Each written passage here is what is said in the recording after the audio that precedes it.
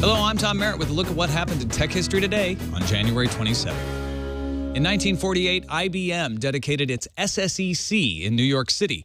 The Selective Sequence Electronic Calculator handled both data and instructions using electronic circuits made with 13,500 vacuum tubes and 21,000 relays.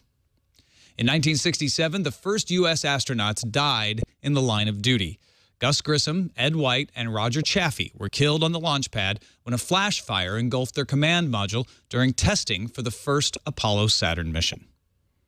And in 2006, the end of an era. Western Union discontinued its telegram and commercial messaging services. The company still handles wiring money. Come back tomorrow for more history and get every episode of Tech History Today at twit.tv slash THT.